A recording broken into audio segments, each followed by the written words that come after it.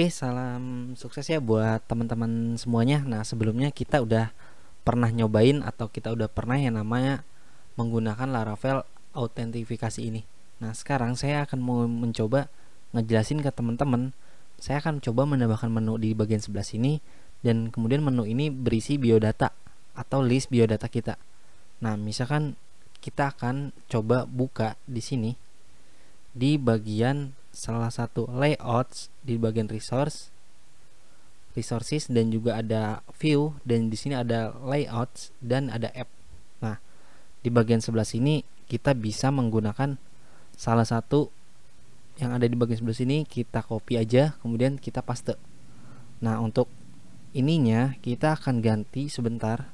Kita kasih crash terlebih dahulu. Dan untuk namanya, nama menunya di sini kita namain itu adalah biodata ya kemudian kita save kemudian coba kita refresh terlebih dahulu nah di sini udah ada biodata dan kalau kita klik di sini masih crash masih crash ya masih belum ada apa-apa nah sekarang kita akan coba aktifkan di bagian sebelah sini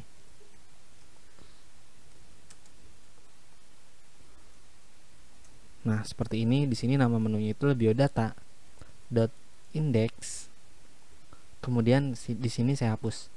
Nah, saya save, kemudian saya coba refresh. Di sini otomatis pasti akan ada yang namanya error. Nah, error ini terjadi karena routing kita kita belum membuat satu buah routing yang bernama biodata. Nah, maka dari itu kita akan coba buat routingnya terlebih dahulu. Di bagian roots di web ini kita akan coba buat root resource. Nah, seperti ini. Ini biodata kemudian di bagian ininya kita buat namanya itu adalah biodata controller. Nah biodata controller ini kan kita belum punya ya. Belum buat biodata controllernya. Maka dari itu kita harus ngebuat salah satu biodata controller ini dulu. Nah kalau misalnya di sini kita refresh otomatis di sini apa yang terjadi dan dia nggak error. Tapi kalau kita klik ini dia pasti akan terjadi error. Kenapa? Karena biodata ini nggak ada Nah, maka dari itu kita harus membuatnya terlebih dahulu. Cara membuatnya gampang di sini di terminal teman-teman. Teman-teman tinggal lakukan Ctrl C, kemudian ketikkan php artisan my controller. Nah, nama controllernya itu adalah biodata controller min min resource ya. Seperti ini, kemudian teman-teman bisa enter. Nah, di sini udah sukses. Kemudian kita akan cek terlebih dahulu di bagian app ini di HTTP ada yang namanya biodata controller ya. Nah, di sini ada yang namanya udah ada fungsi yang namanya index, create, store, show dan juga edit dan juga update dan destroy. Oke, kita akan menggunakan metode-metode yang ada di bagian sebelah sini. Dan kalau misalnya ini kita refresh lagi, kita jalanin dulu kita refresh lagi di sini otomatis kalau kita klik dia pasti akan blank. Kenapa? Karena controllernya itu ada udah ada cuman kita belum menggunakan fungsi apa pun di indeks ini. Kalau misalnya kita coba return halo seperti ini kemudian kita save kemudian kita coba refresh di sini pasti akan ada stringnya yang namanya halo. Oke nah berarti sekarang saya pengen nge-manajemen data biodata ini biar rapih tentunya di dalam view ini ya. Kita tinggal buat aja return view namanya itu adalah biodata dan di sini adalah index ya. Nah, kalau misalnya sampai seperti ini otomatis di bagian sebelah sini kita harus ngebuat satu buah folder namanya itu adalah biodata dan di dalam biodata ini ada yang namanya file yang namanya index .blade .php nah kalau misal ini saya refresh otomatis dia pasti akan ada kosong. Nah kita akan buat itu di bagian sebelah sini. Nah untuk sampelnya kita tinggal ngambil yang di home kita copy kemudian coba kita paste. Save kemudian coba refresh. Nah otomatis dia pasti halamannya sama dan kita akan rubah tulisan dashboard ini menjadi data biodata. Oke. Atau enggak list biodata lah. Oke. Biodata list. Nah di sini kemudian saya hapus. Ini pun saya hapus. Kita lihat terlebih dahulu apa yang terjadi. Nah di sini udah ada biodata list ya kita tinggal membuat satu buah table di bagian sebelah sini buat menampung data-data biodata yang udah kita masukkan di database. Oke? Kita akan coba ngebuat salah satu table. Saya rapikan terlebih dahulu. Dan kita akan buat table. Ada tr ada th dan di sini ada nomor ada nomor ada nama pekerjaan kita coba lihat ada nama alamat dan juga pekerjaan ya berarti di sini ada nama di sini adalah alamat dan di sini juga adalah pekerjaan. Oke. Nah, sampai di sini dulu.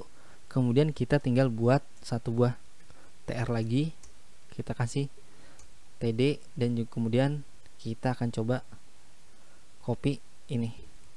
Oke, di sini ada nama sampel. Di sini juga sampel. Kemudian di sini ada sampel. Kita save kemudian kita coba refresh. Apa yang terjadi? Nah di sini udah ada nama alamat pekerjaan tapi bentuknya belum menjadi table. Kita akan tambahkan kelasnya di sini. Kelas sama dengan table table strip it aja nih yang bagus oke okay. kita akan coba refresh nah di sini udah ada nama alamat pekerjaan Cuman datanya ini belum sesuai nih sama yang ada di database ini. Nah, kita akan coba ngebuatnya. Nah, kita akan coba ngebuat atau menampilkan data dari database yang bertable biodata ini. Oke. Intinya kita mau menampilkan data dari table biodata. Oke, gitu. Nah, di bagian sebelah sini kita harus ngebuat salah satu model terlebih dahulu. Di Ctrl C, kemudian kita lanjut menggunakan PHP artisan make model. Nama modelnya itu adalah biodata. Kita enter. Nah di sini udah sukses kita coba cek terlebih dahulu. Di bagian sebelah sini ada yang namanya file yang namanya biodata.php oke nah di sini kita akan kasih tahu ke model ini. Table sama dengan nah. Nama table kita itu adalah biodata. Oke jangan lupa titik koma. Kemudian kita cek lagi di sini nama table biodata. Oke udah benar. Kemudian sudah kita definisiin di sini. Ya kita coba cek di sini ada yang merah. Kita lihat di dokumentasi resminya. Oke coba kita lihat model. Nah di sini udah ada namanya model. Kita akan coba cari kalau misalkan nama table kita itu nggak pakai S berarti kita harus ngedefinisiin nama table kita itu di model. Kita lihat ini routing bukan model. Oke sudah. Misalnya nah oke. Di sini udah ada nah biasanya di bagi do, di dokumentasinya itu otomatis udah pasti ada kita coba cari